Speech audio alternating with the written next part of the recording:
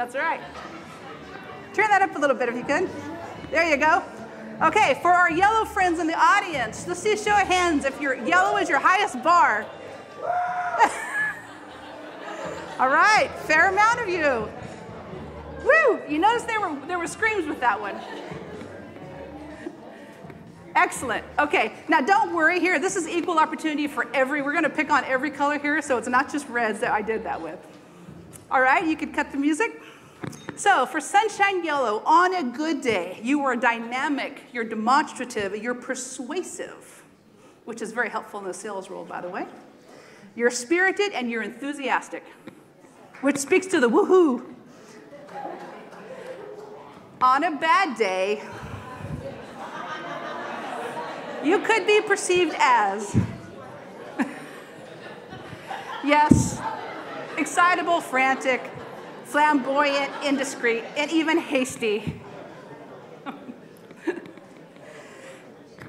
now, you may not see yourself this way, and that's okay, but others may experience this in you on a bad day when you're under stress. The approach for Sunshine Yellow is fast paced and spontaneous. So for, the, for our red friends was also fast paced, but it was more structured. Sunshine Yellow is much more spontaneous. Also, social and uplifting. I mentioned this is usually the social butterflies of the group. In general, Sunshine Yellow is personal, friendly, outgoing, and creative. They like variety, relationships, people, and flexibility. One of the worst things you can do for someone who has sunshine yellow preferences is put them in an office all day and make them work by themselves. Yeah. Yeah. can I get an amen to that? yes. So that resonates. It resonates with you. That's because Sunshine Yellow is driven by spontaneity and driven by flexibility and driven by variety. So those things play into an environment that suits that. And the motto for Sunshine Yellow, involve me. Yellows are people people. They like to be involved. They like to know what's going on. Also, let's do it together. Now, let me ask you, looking at these, there are professions that are where we tend to see clusters of color, different color energies. Now, we, now caveat, there are all color energies in all professions. But there are some where we do see clusters. What type of professions would we see a lot of cool energy? What do you think? Accountants.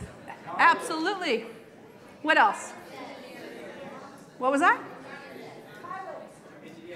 Engineers. I heard pharmacists. I heard pilots. Yes, excellent. Very good. So anything that's about data, it's about numbers, it's about details, Attorneys, you could also say attorneys would fall into this, some attorneys, not all attorneys.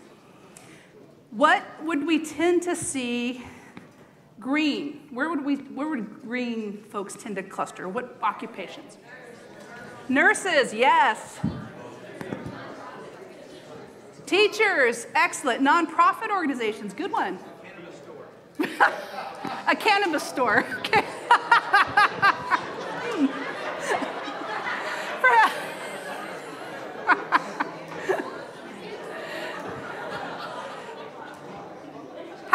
social workers? Greenpeace. Does someone say Greenpeace? I love that. Forest Service. Okay, so these are professions that are about giving back, right? Where would we tend to see yellow energy? You got it. Hospitality, good one, good one. So, sales is where we tend to see clusters of yellow energy. Now, I'm going to show you your team profile at the end of this presentation. You're going to see where you guys all cluster and where you sit in general. But in every occupation, you will see all color energies, but there's certain clusters. Where do you think you would see a lot of red energy? Cops. Coaches, perhaps? Lawyers? What was that? Was that doctors? Athletes. Okay, athletes. That's a good one. Task focus, that's right, goal focus.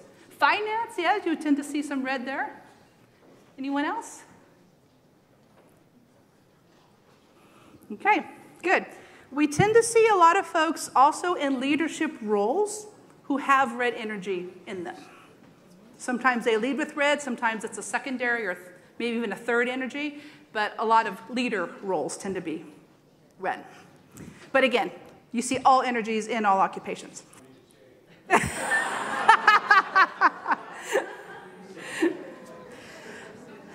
well, there are certainly learned behaviors. So, and actually, that's the, that's the point of the workshop today, is to be aware of your core preferences and then what you can do to adapt. Now, it's not about, again, it's not about changing. You, you simply just need to adapt to better connect to your wife.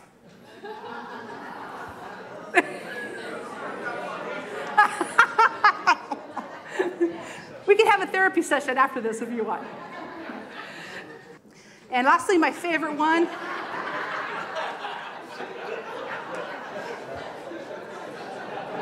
Yes. How many How many of you get emails like this? Every day, right? Every day we see these. Okay. Here's the bottom line. Which color should you be emailing in?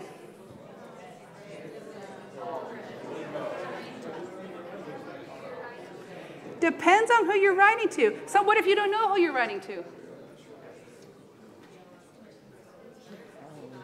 So, the answer is just because we're getting short on time, the answer is you should email in all four color energies.